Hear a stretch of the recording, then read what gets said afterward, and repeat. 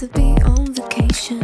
Guess I haven't got the education. I don't really have an explanation. So I found a new game to play. Thought I told you to stay away. But I see you here anyway, so yeah. Guess you're welcome to overstay. Just don't build up your expectations. It's not a good time to test my patience. And don't get in these situations.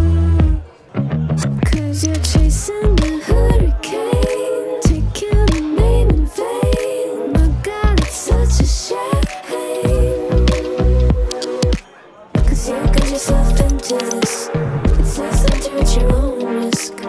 No name is on my list, and you are exactly where I want.